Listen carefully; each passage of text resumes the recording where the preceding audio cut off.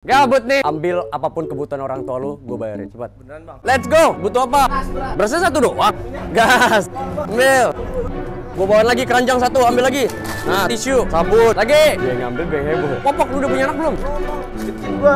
Lagi. Keranjang ketiga, ambil lagi. Sabun cuci baju, kopi buat bapak lo. Oke.